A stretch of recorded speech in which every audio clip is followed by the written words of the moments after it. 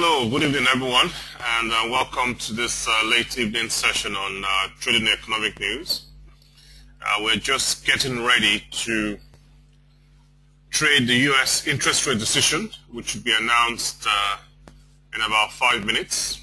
So we're just going to get ready for that. So as we know, when we met this morning, uh, we knew the U.S. would be announcing the interest rate decision at 7 p.m. GMT plus one time. And as we said this morning, and as we've always said, the markets tend to trend sideways prior to the last report of high importance. And due to that fact, we decided to keep out of the market all day and do something else. And uh, we'll now see what the market will do. So let's just have a look at the market uh, as we get ready for the report being announced. Okay, so so we, the report will be announced in about four minutes time, uh, the FOMC minutes, and as we can see, and also in about 35 minutes, the ECB president, uh, Mario Draghi, will be making a speech. Obviously, the market would have a huge impact. I mean, the report in five minutes, the interest rate decision will have a much uh, greater impact on the market. But do watch out for the speech by the ECB president in, uh, in about 35 minutes. So going to the charts, we can see the Euro US dollar has been all over the place, which is not surprising. Uh, it's just been jumping up and down the place. And that's why it's important to keep out of the markets uh, prior to reports of high importance, especially one like this, which is of extremely high importance. So we can see that it's initially was trending sideways between the first resistance and the pivot point and then you can see where it broke the first resistance, fell back down, broke the pivot point, went back up, broke the first resistance and the second resistance, and then came back down and it's now trending sideways on the first resistance.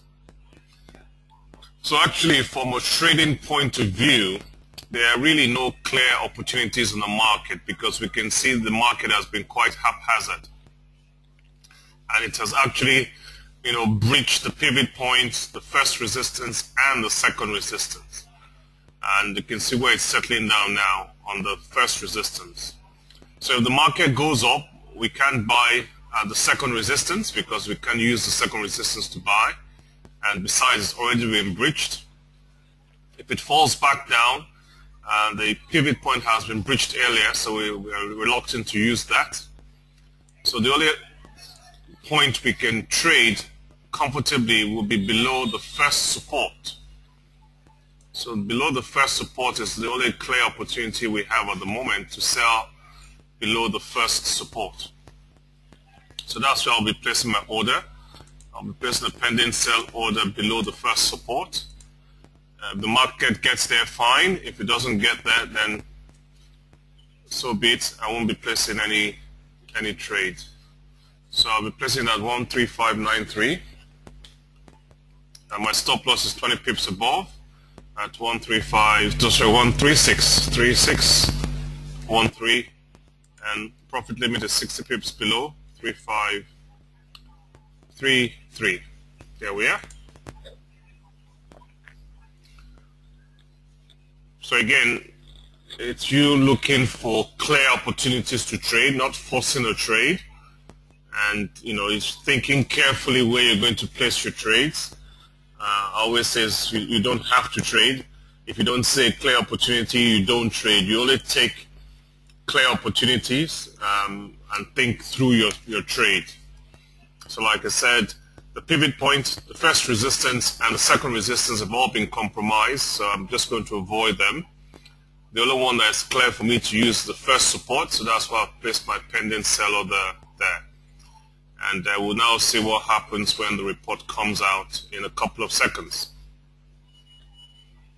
Just quickly go through, you can see the other markets, it's the Dow Jones, you can see it's been trending sideways. You can see the dollar Swiss franc is all over the place too, same with the pound dollar. And the euro yen has gone up, but it's also come back down. So you can see all the markets have just been all over the place. So it's 7 p.m. now. The interest rate decision has been announced. Uh, we can see the euro US dollar falling. But we've decided where we're going to trade anyway, so we'll let the market do what it wants to do. We'll give it a couple of minutes. Uh, if you have any questions, do click the hand button or send your questions to the question box. Uh, this will be the last session for today um, because we're not going to ha be having one attempt at the market, if any at all. Obviously, if the market doesn't get to the first support by uh, 8 o'clock, 8.30, then do delete your orders. So remember that uh, when the US market closes at 9 p.m. GMT plus 1, um, all the stock exchanges around the world will be closed, so the market tends to trend sideways between 9 p.m. GMT plus 1 and midnight GMT plus 1. So because of that, if the market hasn't taken this sell order by about 8.30 p.m. tonight, I will be deleting this pending order.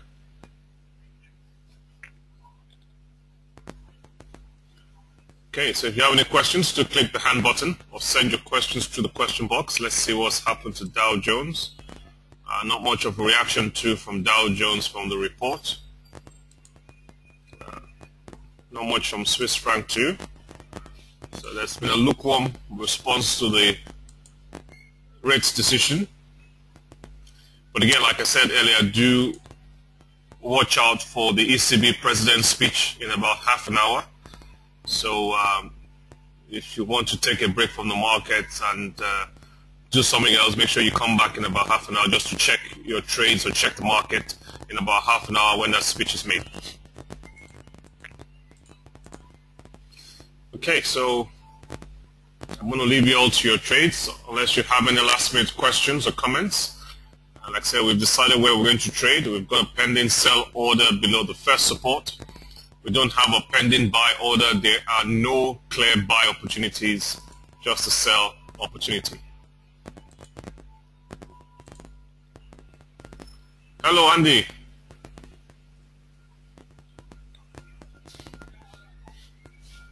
Andy. I can see your hand up. Uh, do you have a question? Or if you're able to talk, you can uh, send your question through the question box. Uh, like I said, I can see your hand up, but I can't hear you. Well, I don't know if you're just waving to me, as in waving goodbye. Hello? Hello, Andy. How are you? Okay. Hi. How can I help? I've lost Andy again. Uh, I'll try and send your question through the question box, Andy. You seem to be having a problem with your communication. You can just type in your question and send it through the question box.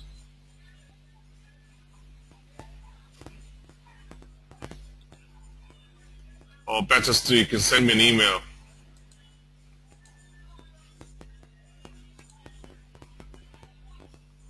Hope you're still there. Like I say, you can either send your question to the question box or send me an email. I think we've lost you there. Okay, so I'll leave you guys to look after your trades. Take care, and uh, if there are any changes before the end of the day, I'll send you an email. Otherwise, we'll meet again tomorrow morning. Take care and God bless.